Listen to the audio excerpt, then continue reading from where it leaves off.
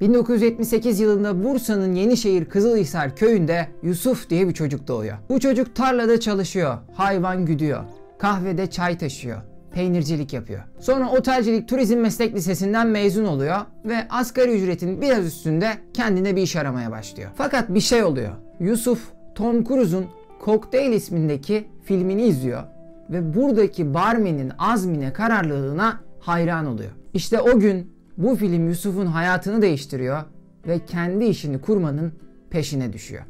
Bugün Köfteci Yusuf'un hikayesine bakıyoruz.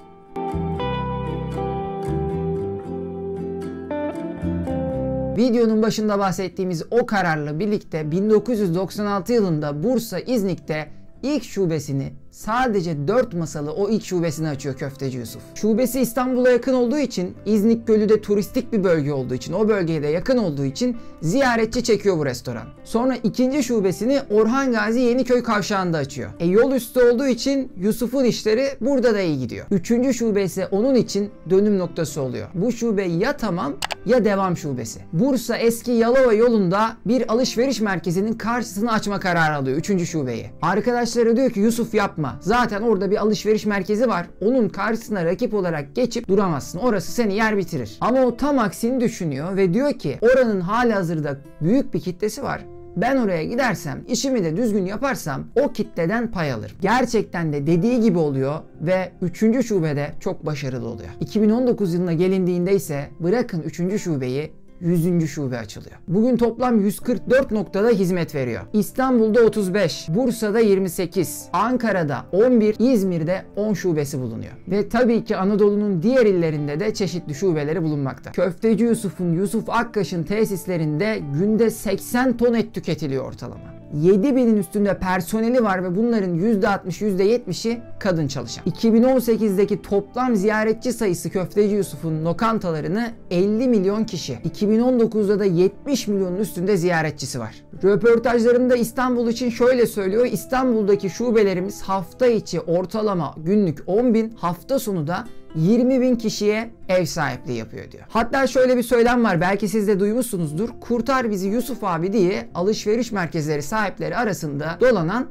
bir söylem varmış. Bu şu anlama geliyor. Bazı alışveriş merkezleri kapasitelerinin altında yeterli sayıda tüketiciye ulaşamıyorlar. Bizim ülkemizde ne yazık ki alışveriş merkezi çılgınlığı olmasına rağmen hala bu konuda başarısız olmayı başarmış bazı alışveriş merkezleri varmış. Onlar da diyorlar ki gel bizim alışveriş merkezimize Köfteci Yusuf'un şubelerinden birini aç. Çünkü biliyorlar ki eğer o şube açılırsa o alışveriş merkezine sırf Köfteci Yusuf'ta köfte yemek için gelen insanlar olacak. E tabii ki bu insanlar sadece köfte yemek amacıyla bile oraya gitmiş olsa alışveriş merkezine gittiklerinde de e madem geldik buraya kadar bir gezelim bir iki mağazaya bakalım illaki diyecekler. İşte bu noktada alışveriş merkezinin dükkanları satış yapmaya başlayacak. Dükkanlar satış yaptıkça kiralarını verebiliyor hale gelecek ve mal sahipleri de yatırımlarından kar elde edebiliyor olacak. Tüm bu durumu değerlendirdiğinizde de şöyle bir söylem daha var. Alışveriş merkezleri bu teklifi yaparken aynı zamanda verdikleri dükkanında kirasını talep etmiyorlar. Ama bu ne kadar doğru bilmiyorum. Bu dediğim gibi sadece benim de duymuş olduğum bir söylem. Makul de bir bakış açısı aslında. Gerçekten günde 10 bin tane bir alışveriş merkezine sadece bir işletmenin şu insan çekebildiğini düşünürsek o tesisten, o dükkandan kar almamanız mantıklı olabilir. Ki Köfteci Yusuf'un kendisi de zaten diyor ki bir alışveriş merkezine günde 10 bin kişi çekebilecek yeterliliğe sahibiz diyor. 2018 yılında 50 milyon kişi ziyaret etmiş dedim. 900 milyon lira ciro yapılmış. Yani bu şu demek ortalama kişi başı bir kişi masadan 18 liraya kalkmış diyebiliriz kaba bir hesapla. Tabi şirket Türkiye'de anlattığımız gibi çok sağlıklı şekilde büyüdü. Bu kadar şubeye ulaştı. Ama başka hedefleri de var. Diyorlar ki biz artık yurt dışına da açılmayı planlıyoruz. 2019'da verdikleri röportajda diyor ki köfteci Yusuf, Yusuf Akkaş önümüzdeki 5 yıl içinde Amerika Birleşik Devletleri'ne, Körfez ülkelerine ve Almanya'ya açılmayı planlıyoruz. Hatta açılma stratejimiz sadece oraya et ihraç etmek olmayacak. Eti de orada üretmeyi planlıyoruz. Buna yönelik de araştırmalarımızı, fizibilitelerimizi yani bu iş yapılırsa ne kadar karlıdır bunun ön değerlendirmelerini yapıyoruz diyor. Şimdi gelelim bu hikayedeki başarı sırlarına. Gördünüz çok çok da uzun bir tarih yok. 24 sene tamam az bir süre değil ama çok 50-60 senelere, 100 senelere varan inanılmaz köklü bir tarih yok ortada. Peki bu 24 sene içerisinde bu başarı nasıl yakalandı? Benim röportajlardan hem yazılı olarak okuduğum röportajlarından hem de görsel olarak video şeklinde izlediğim röportajlarından yaptığım bazı çıkarımlar şöyle. Birincisi diyor ki Köfteci Yusuf biz hep rakiplerimizi izleriz. Bir bakarız rakiplerimiz neyi iyi yapıyor biz onların iyi yaptığını daha iyi yapmaya çalışırız. Bir de bakarız rakiplerimiz neyi kötü yapıyor, neyi kötü yapıyorlarsa da onu da yine biz iyi yapmaya çalışırız. Yani ben en iyisini bilirim, ben en iyisini yaparım değil. Önce bir bakacağız hangi işi yapıyorsak yapalım. Etrafımızdaki insanlar ne yapıyor? Biz üstüne ne koyabiliriz? Benim ikinci başarı sırrı olarak gördüğüm şey şu. Şu anda hala vaktinin %80'ini gidip şubelerde geçiriyormuş. Şimdi pek çok büyük patron gibi aslında gidip kendisine kocaman bir oda yaptırabilir. O odada sandalyesine oturabilir ve önüne yığılan raporlarda önüne koyulan istatistikler neyse onlar üzerinden şirketinin durumunu algılamaya çalışabilir. Ama o bunu yapmamış. Demiş ki benim işim aslında sahada, tezgahta, mutfakta, masada, müşteriye sunulan serviste. O yüzden gidiyormuş %80'ini vaktinin şubelerde geçiriyormuş. Hatta yeri geldiğinde ızgaranın başına geçip et pişiriyormuş.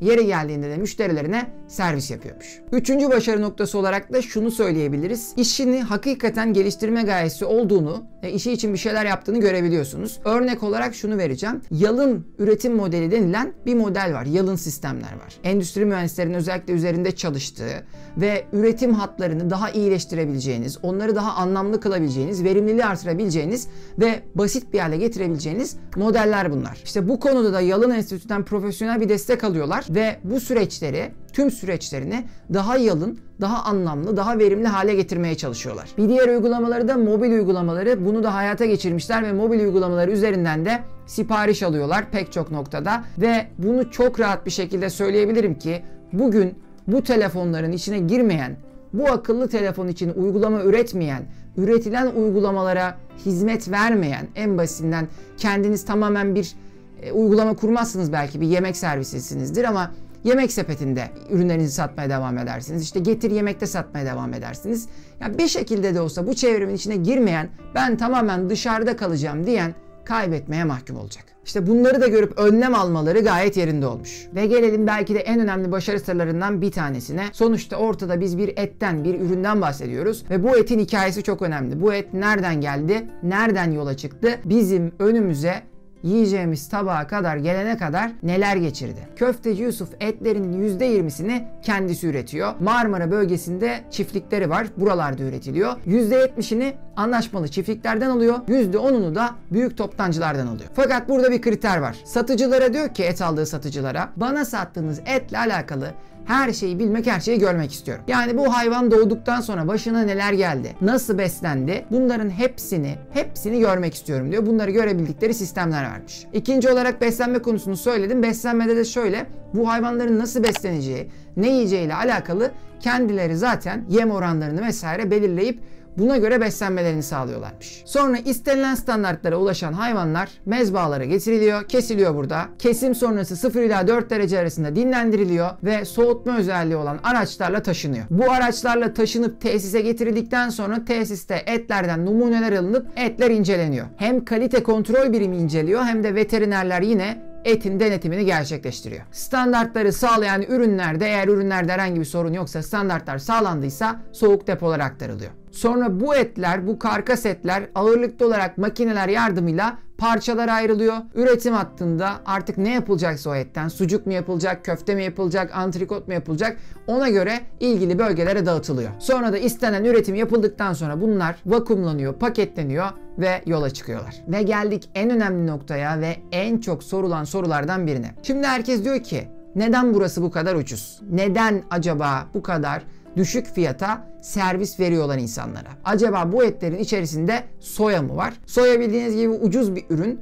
ve etin muadili olarak pek çok ürün içerisine yerleştiriliyor. Örneğin marketlerden aldığınız pek çok mantıda aslında gerçekten et yok, soya var. Köfteci Yusuf'a da bunu soruyorlar. O da diyor ki benim yüzlerce şubem var. Rakiplerimden bir tanesi gidip herhangi bir şubemde bir köfte sipariş etse örneğin. O etten alsa bunu laboratuvarda test ettirse ve onun içinden soya çıksa sonra beni basına ifşalasa ben zaten bu işi yapamam bile diyor. Yani diyor ki benim eğer böyle bir kusurum varsa bunu ortaya çıkarmak zaten çok kolay. Tabii ki böyle bir şey yapmıyoruz diyor. İsteyen herkes gelsin bizim etimizden numune alsın laboratuvar ücretini de ben ödeyeceğim diyor. Test ettirsin Kesinlikle böyle bir şey bizim etlerimizde yok diyor. Peki buna rağmen nasıl bu kadar ucuza sunabiliyorsunuz dendiğinde de diyor ki biz tonajla üretim yapıyoruz. Anlattığım çevrimi düşündüğünüzde bizim fabrikalarımız var. Tonlarca et üretiyoruz ve insanlara eti düşük kar marjlarıyla araya da hiçbir aracı sokmadığımız için, hiçbir şekilde başka işletmelerle bir araya gelmediğimiz için, franchise'ımız olmadığı için, üretimi tamamen bir kısmını kendimiz yaptığımız için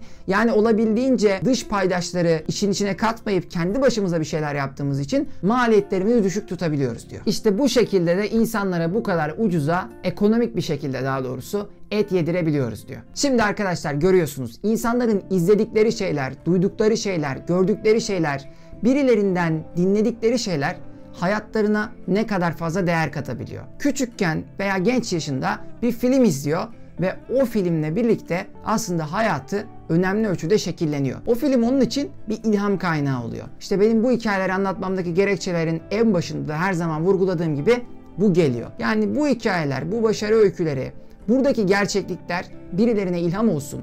Size, bana, hepimize, bu videoları izleyen herkese ilham olsun ve o kişiler de hayatlarında başarıya ulaşırken bundan kendilerine bir paye alsın. İlla gidip büyük büyük şirketler kurmanıza veya kendi başınıza işler yapmanıza gerek yok. Herhangi bir yerde çalışsanız bile, çalıştığınız işte bile başarılı olma noktasında insanı motive edebilecek şeyler bunlar. Neden? Çünkü biz tüm hikayelerde şunu görüyoruz bu başarı hikayelerinin hepsinde. İlla ki işin bir yerinde mantıklı adımlar atılmış, doğru kararlar verilmiş, doğru şeyler yapılmış. Yani o yüzden kendi işinizde yapsanız, başkalarının yanında da çalışsanız, yükselmenizin, iyi bir noktaya gelmenizin sebebi işinizi düzgün yapmak, diğerlerinden ayrılmak, başkalarının hatalarını görünce aynı hataları yapmamak, hep daha iyiyi, en iyi ortaya koymak. Önümüzdeki videoda başka bir markanın hikayesiyle görüşene kadar şimdilik hoşçakalın.